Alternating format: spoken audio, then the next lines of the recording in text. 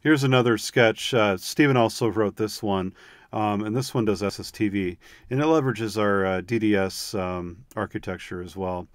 Um, and uh, SSTV is pretty complicated here, and the timing is really just critical. So this is a big challenge to try to get it synchronized and, and looking great on the display. Um, and it looks like he's got his tones um, defined here. And then this is the bitmap image for the SST, SSTV image.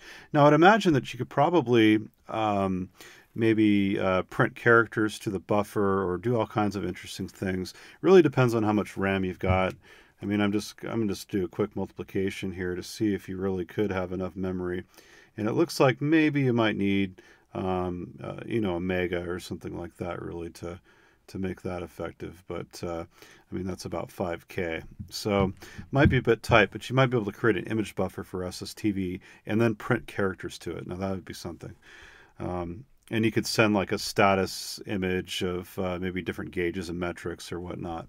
Um, so anybody could request a, a, graphic image to look at the status of something. Um, we'll kind of go through here. Um, here we're setting it to uh, an experimental frequency. Um, and then we got uh, uh, our frequency calculation table set up. And we're going to be doing Martin 1, uh, which is pretty incredible to see on the Arduino. I have not seen this before. Um, so uh, that made our smiley face. And I'll show you where the bitmap's stored. It's actually kind of neat. Um, so we'll kind of scroll through here. And uh, we've got a function that loads the scan lines in. Um, we've got a loop here. It looks like he's just playing the tone. So DDS, it sounds really complicated, but really um, all you need to do is just play a tone. Uh, playWait, it looks like, is a, a great way to play a very accurate tone for a very specific length of time. Um, and it looks like he's just stacking these up, which uh, looks like it's pretty straightforward and simple here. Um, and then uh, let's see. Look, I, I don't know what uh, D on and D off do.